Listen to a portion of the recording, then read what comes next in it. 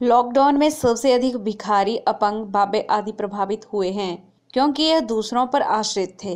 सामान्य स्थिति में तो लोग व ढाबे आदि खाना उपलब्ध करवा देते थे, लेकिन लॉकडाउन में बैजनाथ के कुछ व्यापारियों द्वारा हेल्पिंग हैंड टीम सात आठ लोग उनके लिए लाइफलाइन बनकर सामने आए।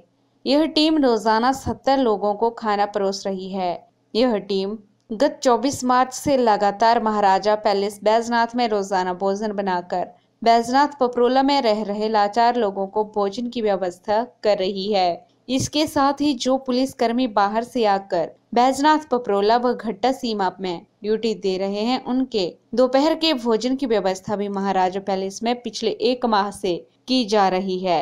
लॉकडाउन के दौरान यह टीम लगभग बीस हज़ार लोगों को खाना खिला चुकी है।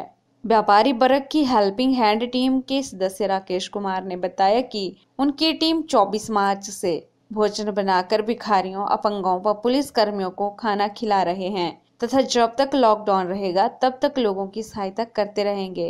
सबसे पहले तो एसडीएम महोदय का धन्यवाद करते हैं जिन्होंने हमारे को खाने के लंगर की जो परमिशन दी हुई है। इसमें जो हम लगभग एक महीना हो गया। कुछ हम जो यहाँ के सात, आठ व्यापारी वर्ग है, उन्होंने इकट्ठा जो है लंगर चलाया हुआ है। कई साधु संतों को खाना नहीं मिल रहा था। उनके लिए हम खाने का इंतज़ाम किया है। और बाकी जो बाहर से पुलिस वाले आए हैं, वो भी यहाँ खाना खाते हैं। और इसमें जो है साठ, सत्तर लोगों की व्यवस्था की है। लगभग इसको एक महीना हो गया। हमारे को चलाते हुए।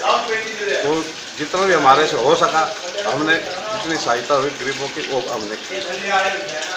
पीआईटीवी के लिए बैजनाथ से विजय कुमार की रिपोर्ट।